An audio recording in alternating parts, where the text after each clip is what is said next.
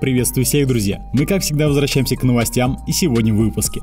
Джастин Гейджи высказался о бое с Хабибом и поддержал бойца. Дан Уайт назвал место проведения следующего турнира UFC, а Даниэль Кармье пытается вытащить Степа Миочича на их поединок. Поддерживайте этот выпуск лайком и всем приятного просмотра. UFC вернулась с турнирами, так что если вы хотите поучаствовать, как и я, и разбираетесь в этом, то вам поможет надежная компания FonBet, которая на рынке более 25 лет. Для наших подписчиков FonBet подготовила бонус до 15 тысяч рублей.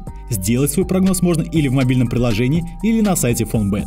Все ссылки в закрепленном комментарии. Несмотря на сложную ситуацию в мире, Даниэль Кармье пытается как можно быстрее провести поединок со Степом Миочичем, который, похоже, не собирается готовиться в таких условиях и не раз заявлял о том, что лучше пусть все закончится, чтобы можно было начать нормально тренироваться, так как его зал сейчас закрыт. Но DC, похоже, это не устраивает, и он рассказал, как можно решить данную проблему и придумал, как можно вытащить чемпиона на тренировке. Эй, чемпион, я только что получил сообщение от Кайла из Зебра Матс, и он передал тебе следующее. Скажи Степе, я могу доставить ему маты и стенки клетки в течение пяти дней. Подпиши контракт на бой и дай мне номер кредитной карты, написал Кармье в Твиттере, обратившись к Миотичу. Ранее президент Юси Дан Уайт не исключил возможность того, что им придется лишить Миотича чемпионского пояса, а Кармье предложил разыграть вакантный титул в поединке против Фрэнсиса Нгану. Миотич в ответ заявил о том, что его команда приступила к переговорам с UFC и уже обсуждает с организацией следующий бой. Так что вполне вероятно этот поединок мы увидим этим летом. Друзья, пишите в комментарии ваше мнение, кто победит в их третьем бою.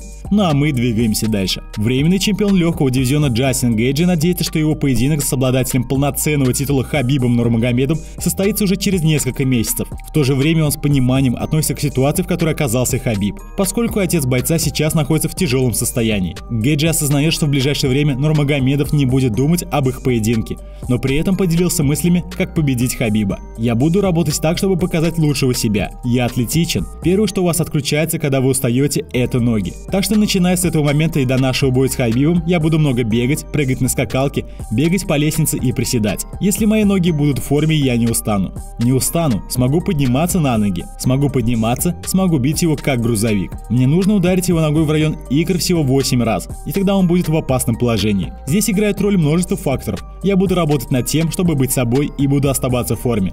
Все упирается в кардио. Я предполагаю, что мы подеремся в августе или сентябре. Я даже не могу представить себя на месте Хабиба. Сейчас наш бой последнее, о чем он думает. Пусть пройдет время, а затем мы совсем разберемся. С Хабибом я хочу драться больше, чем с Конором Макгрегором. Я заработал и заслужил этот бой. На данный момент это единственный поединок, который меня интересует. Это будет замечательный, масштабный поединок. Рассказал Джастин Гейджи. И как вам план бойца, ребят? Как по мне, такими ударами точно не остановить Хабиба. И напоследок, многие интересуются, когда и где состоится следующий турнир UFC. Так как Дана Уайт заявил о том, что в Джексонвилле они заканчивают свой бойцовский уикенд. Так вот, свое следующее мероприятие UFC придет 30 мая на домашней арене Apex в Лас-Вегасе. Об этом сообщил сам президент UFC Дана Уайт. Этот турнир возглавит интереснейший бой Тайрона Вудли и Гилберта Бионса, так что будет интересно посмотреть на бывшего чемпиона, который долго не дрался, и на бразильца, который набрал просто невероятный ход в полусреднем весе. На этом, друзья, хочу сказать спасибо всем тем, кто досмотрел этот выпуск до конца. Можете поддержать его лайком, мне будет приятно. Также не забывайте подписываться на мой канал, если вы вдруг все еще не подписаны. Всем пока!